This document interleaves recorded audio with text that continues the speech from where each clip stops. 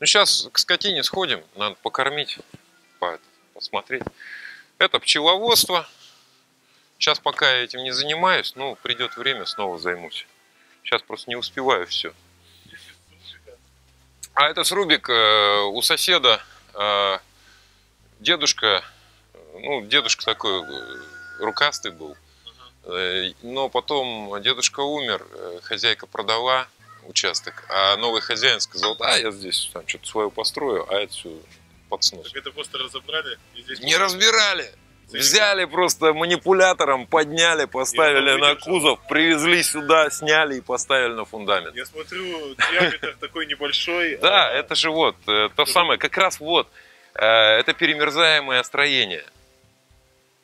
Это как раз вот тот диаметр, из которого надо делать э, баню в случае, если она перемерзаемая.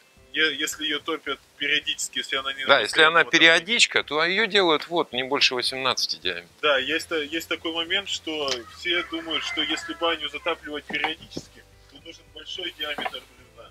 А, а в действительности, если вы баню топите временами, например, раз в неделю, то диаметр бревна нужен, наоборот, маленький, для того, чтобы дерево прогрелось целиком. А если дерево не сможет, вот диаметр бревна, если оно не сможет целиком прогреться во время топки бани, то точка росы останется внутри дерева и начнет его разрывать. А небольшой диаметр, такой же, такой как у этой сарайки, он прогреется полностью. Потери тепла в любом случае будут, но дерево прогреется полностью, и точки росы внутри дерева не будет образовываться потом она также Его просто не порвет внутри, потому да, что дерево, дерево, когда в нем остается роса внутри, да, и потом она замерзает, его рвет изнутри, просто разрывает. Поэтому нужно добиться того, чтобы точки росы внутри бревна не оказывалось. Ни в момент, когда она прогревается, она должна прогреться наружу полностью, ни в момент, когда она остывает. Баня, если она не остыла полностью, не выстыла, если она периодичка, то она просто придет в негодность за 5-9 лет там за 10 ну, лет. Поэтому у нас, как правило, и думают, что баня должна служить 10 лет, и потом все она загнивает. Ну, это а, же выгодно для а производителей да, бань. Для производителя. А в действительности баня должна служить хоть 50 лет. Мне э, понравился классный аргумент. Э, я говорю, мужик, а что ты не делаешь нормальные бани? Ну, качественные. Да ты чё, я так уже 30 лет строю. У меня есть клиенты, которые уже по три бани заказали. Вот это вот и выгодно. Я так стоять, подожди, а где предыдущие две, когда ты строишь третью? Ну, там курятник, ну, там козник, там и так далее. Уже все. А сгнила, сгнила. Ему выгодно. Баня, баня может стоять 200 лет. Вот этому срубу, ну, не знаю, лет, может, 60-70, немного. Но это и не баня. И здесь вентиляция не, не, не полностью сделана. Я еще буду доделывать. Вон вентиляционная труба, и она так же точно, как и в банных. 60 лет вот этому дереву, и по нему даже не видно, что где-то началось какое-то гниение. И не будет. А зачем? Ну, глиной замазано все, все законопачено, все сделано. Мало того, мы его поднимали, перевозили, он трясся, валился во все стороны, да, потом мы его поставили на место, он как влитой встал и стоит до сих пор. И ничего ему не будет. И будет стоять до бесконечности, пока где-нибудь что-нибудь не потечет. А здесь не потечет, крышу-то сделаем. Ну ладно, пойду я коз Это покормлю. Кстати, универсальный, то, что касается бани, универсальный утилизатор бэушных веников, березовых, это коза. У меня все веники, которые в бане отработали, потом превращаются вот в такое. Видишь, единственное, что они не съедают у моих веников, это ручки, потому что ручки замотанные полностью, они закрытые. Я этими ручками работал в баньке, э, массажными делами и так далее, и они у меня не давали развалиться венику. А э, единственное, что и остается, все остальное съедают начисто козочки. А, это цесарки. Вот из-за них приходится решетку делать. Цесарки, они вечно дикие, бешеные. И они э, зимой не несутся, они будут нестись только летом они летают. Ну, это африканские куры. А наши петухи обычные, он спокойный. Они прирученные уже. Нет, со дня на день будем уже доить. Ну, пусти. А какой. Вот ему две недели. Козочка у нас родилась. Козленочек. Чего пищишь? Ой, страшно-то как. Сегодня уже буду отлучать, с завтрашнего дня начнем доить козочку. Скоро у нас козье молоко будет. Еще вторая, вторая коза еще не отелилась.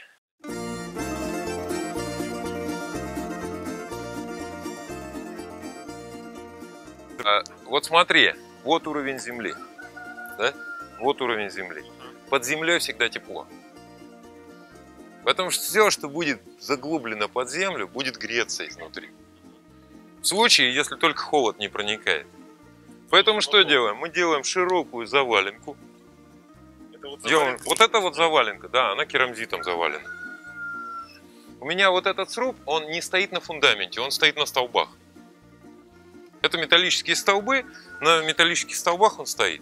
Но вокруг него обычным старым шифером с этой же крыши снят. Вот этим огорожено, с одной стороны, огорожено с другой стороны. Между ними завален э, керамзитом. Получается утепленная э, фундамент, подушка такая. И он утепляется так, чтобы захватить собою и часть сруба. Чтобы А, не было мостика холода. Да, он поднят Насколько там? 50 на 2, наверное? на, где-то на, на середину второго венца. Для того, чтобы не было мостика холода между вот обычный ленточный фундамент делают, бетонный, да, и потом бревно на него кладут. И там получается дырка, дырка свист. Потому что у Так бетона фундамент еще промерзает. он промерзает однозначно, но у бетона свой коэффициент расширения, у дерева свой коэффициент расширения. Они гуляют друг по другу, постоянно скользят, и как бы ты там ни законопачивал, он постоянно будет раскрывать мостик холода. И туда устремится весь холод с улицы. Такой же момент есть. И будет холодный пол. Тогда и между лиственницей и сосной. Та же самая фигня. Лиственница это вообще камень. Тот, кто ставит лиственницу на первый венец или под первый венец, лиственничное бревно, это человек, который сознательно обрек твою баню или твой дом на сгнивание. Он знает, что первый венец будет гнить, с этим делать он ничего не собирается, он просто отсрочивает время сгнивания за счет того, что туда засовывает вот это каменное дерево. Холодное каменное дерево, у которого теплоемкость... э, Я теп- слышал, что есть э, конфликт двух... э, Да, одного Совершенно разная плотность второго дерева, да, разная лежал- плотность дерева, поэтому разная получается и коэффициент расширения, и между ними получается мостик холода, дырка. И как только ты изнутри затапливаешь печку, в доме становится холоднее. Из-за того, что холод начинает... Да, печка начинает высасывать большое количество воздуха, входа для воздуха не придумано, не сделано в обычном доме, да? Ну, в неправильном доме, так сказать. И он начинает засасывать просто под пол холодный воздух. А там же еще и продувы оставили. А в продувы там вообще свистит по полной программе, чтобы побольше зашло холодного воздуха. И мы одной рукой засовываем туда холодный воздух, создаем аккумулятор холода прямо у себя под ногами. А второй рукой начинаем создавать дорогущий толстый сэндвич утеплителя. Феноплексы, теплые полы Да, да, да, теплые полы, там прочее, прочее, только для того, чтобы теперь спастись от того холода, который сами же туда напендюрили. И что с этим делать?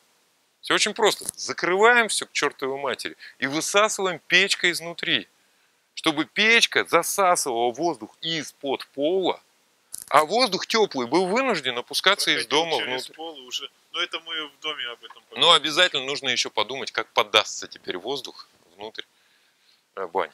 А вот то, что касается курятника, очень простая штука. Мы курятник просто заглубили на А, 80 ну из-за того, что он там так глубоко, там постоянно есть Там плюсовая уже температура. теплее, уже теплее. Но плюсовую температуру создают бактерии. Там просто вот сейчас То, что внизу, они какают. да, э, бактерии перерабатывают какашки. Там специальные бактерии брошены. Они с- э, перемешаны с э, опилом. Вон мешки с опилом стоят. И э, опил я чуть-чуть добавляю время от времени. И там постоянно плюс 40, плюс 30 под ногами у них Под ногами у них держится. такая высокая Под- температура. Поди потрогай. Ух ты. Пойди потрогай. Просто вот возьми опил с пола, потрогай, какой он температуры. Он очень теплый. Он до 50 разогревается. Он. Это вот бактерии, они съедают. Неожиданно теплый. При условии того, что здесь нет никакого отопления, опилка теплая. И вот эта подстилка, она дает мне возможность э, курам нестись там по ну, яйцо в день.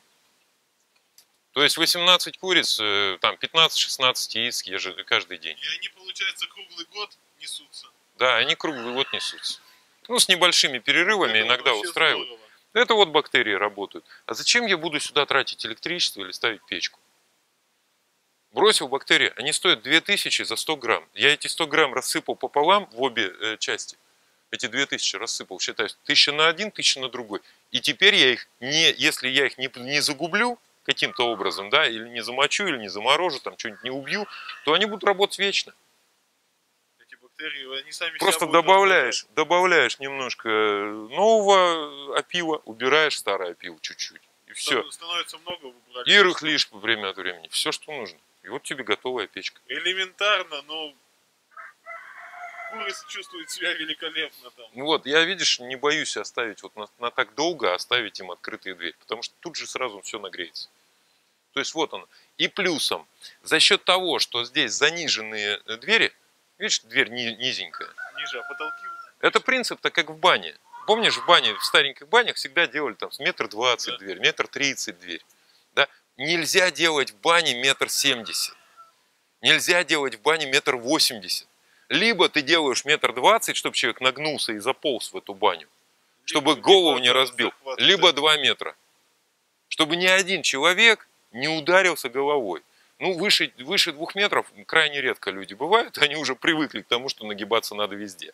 Вот. Но э, ты, когда ты делаешь метр восемьдесят, всех, кто ростом метр восемьдесят три, метр восемьдесят пять, ты обрек на снос головы об этот косяк. И будут люди приходить постоянно в этот косяк.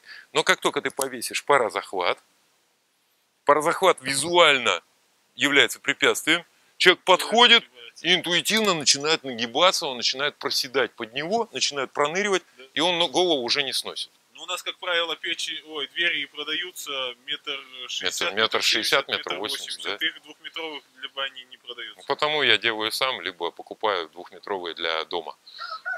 Вот и все. Но двухметровая дверь, нафиг не нужно эти метр шестьдесят, метр двадцать там делать. Ну, в метр двадцать, ну я понимаю. Если бы мы были в Японии, я бы сейчас рассказывал о том, что надо сначала поклониться богу бани, потом зайти внутрь там, и так далее. Это то, что они делают со своими ресторанами. Да, рассказывают, что вот там ты должен поклониться еде, потом зайти. Да, там Во! настроено больше на энергосбережение. это островное государство. Энергетики ноль, своих ресурсов ноль. Поэтому они экономят на всем. Поэтому в рестораны входы а, очень низкие, заниженные. Мало того, потом внутрь заходишь и еще поднимаешься на пару ступенек, и потом ты уже ходишь выше среза двери. Чтобы тепло не выходило. Чтобы тепло не выходило на улицу. как, э, Энергоресурсы очень дорогие. Очень дорогие, их просто нет. Поэтому, а, а дверь закрытую в ресторане держать нельзя, иначе никто не зайдет. Дверь нужна открытая, но тепло уйдет. маркетинг. Поэтому маркетинг они делают вот так. Маркетинг. Ну а здесь, а здесь хит- хитрость э, за счет того, что я сделал заглубление, внутрь увел просто, потому что я знал, что у меня приедет баня вот всего вот такой высоты, а я не хочу нагибаться внутри. Мне нужно, чтобы было высоко, чтобы я там в полный рост ходил внутри. А это значит, что я вот уже ударюсь головой. Ну да. Поэтому я взял и заглубился. Баня старая, не моя, с- не баня, это стайка. Э, Не мною сделанная. Ну, и это тоже вариант. Тоже хорошо. Ладно, сейчас яички соберем, да пойдем.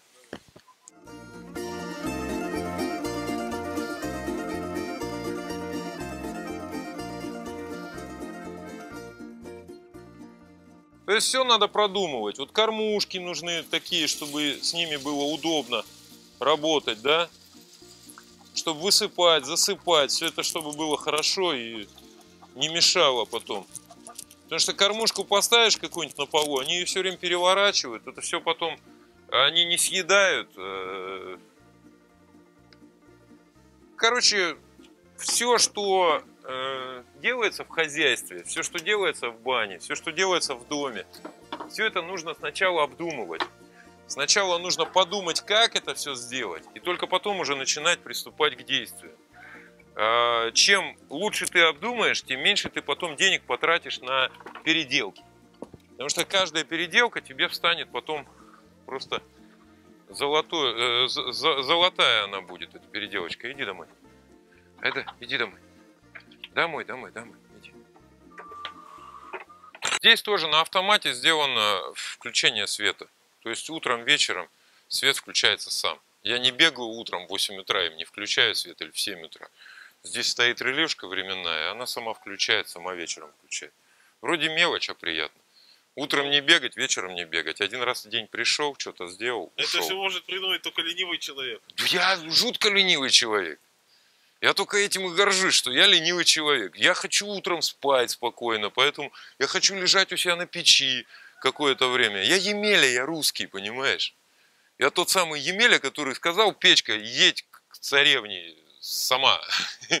И тогда вот я зам, это, женюсь, да? Ну, для этого же надо придумать эту печку, поймать эту щуку сначала. То есть э, для того, чтобы жить, ну, как бы богато, можно не обязательно много зарабатывать, можно много не платить. Есть миллиард способов не платить, лишний раз не платить. Э, Сэкономленный миллион – это есть заработанный миллион. Поэтому самый простой способ – просто не пахать лишнего. Не соблазняться на всякие э, э, разводы, которые сейчас те же строительные компании предлагают, те же производители всякого-всякого. А, И делать только то, что тебе нужно, действительно нужно. То есть с теми же там с крышами, с потолками, с, под- с подвалами, с э, утеплителями, с прочими вещами. Вот смотри, мы сейчас живем в 2000 каком-то там году, да? А люди жили, э, ну, скажем, там э, 6 тысяч лет до нашей эры, 10 тысяч лет до нашей эры, 15 тысяч лет до нашей эры. То есть они прожили вот как минимум, ну вот на том, что можно потрогать руками, да, на археологических исследованиях, а прожили там 15, 17, 20 тысяч лет, и они дожили до нашего времени. Да. Но у них не было Кнауфа, у них не было э, Шинглса, у них не было там, не знаю, там каких-то утеплителей, каких-то изоспамов и каверов там и прочего-прочего. Ничего не было, но они дожили 17 тысяч лет. Они что, уроды были, идиоты? Они что, балбесы полные, что ли? Ведь они дожили до сегодняшнего опыт, дня. Опыт опыт. Почему мы-то, как это, как бешеные, носимся за, в своих офисах, сидим, на компьютерах что-то зарабатываем, вкалываем, вкалываем, вкалываем, вкалываем, зарабатываем эти там 300 тысяч там на э, очередную там вложить в постройку дома, потом приходим, на, дорогой, за твое промышленное изобретение, забери. А башку-то включить, а тебе вообще нужно Да, было о- за это, о- о- за это опыт платить? предков-то вообще перестали смотреть. Смотрим на одну рекламу. Деды нифига не платили за это. Никто не платил за утепление крыши, никто не платил за утепление стен, ни копейки не платили за всякие пропитки и так далее. Никто не тратил на это деньги. Какие деньги? Ты деду расскажи, он просто покрутит у виска и все скажет, ты что, больной что ли? Зачем Ну, это да, все тратить? Все же очень дешево в этом мире. Утепляли и листвой, и опилкой, и, Так и работает. и всем на Так и свете. работает. Да, и причем, э, ну, в чем я убедился, да? Делали глиной. Вот сейчас Да, вот помню. Есть такая там афоризм такой, что э, Бог придумал пищу, да, а э, черт повара. То есть есть пища, но ее можно испортить. И очень круто испортить. Из этого сделать какие-то там сочетания чего-то несочетаемого, совершенно несъедобного. Хотя будет вкусно и так далее. Но это соблазны. И вот то же самое со стройкой. То есть есть, э, естественно, природные материалы. Они вокруг нас, они вот здесь вот везде. И этими природными материалами можно было воспользоваться и сделать шикарное строение, любое строение. Но нам все это надо испортить, использовать химию, использовать Ну, э, за- краски. В защиту все-таки производства современных материалов тоже можно сказать, что есть хорошие материалы, но есть плохие продавцы, которые продают материалы, а, сами не, не понимая до конца, для чего они были изобретены, эти материалы. Для В общем, я тебе так скажу. Вот если бы а, я разделял твое мнение, то у меня бы сейчас э, там на всех моих видео было бы куча спонсоров. Ну да. Но я нахер посылаю всех спонсоров. Почему? Потому что никого из них, кроме какого-нибудь простого керамзитового завода, я рекламировать не собираюсь. Потому что все, что они придумывают, это было 300, 400, тысячу лет назад, придумано самым простым природным способом. Они сейчас каждый раз изобретают велосипед, но делают таким образом, чтобы это э, приносило доход им. И это первое, что они пытаются добиться. Не принести тебе благо в твой дом, а положить себе копеечку в карман. Поэтому целеустроение у них обратное. Сначала они думают, как заработать, и только потом, как из этого сделать теперь тебе утепление дома или там создать тебе какую-нибудь баню или там, так далее.